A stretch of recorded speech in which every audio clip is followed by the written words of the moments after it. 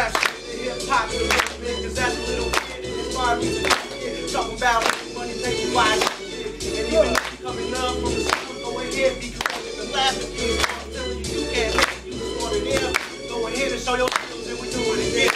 Cause people don't expect us to make it. And when we do, they get mad cause I hate it. And we be shaking the same right next places.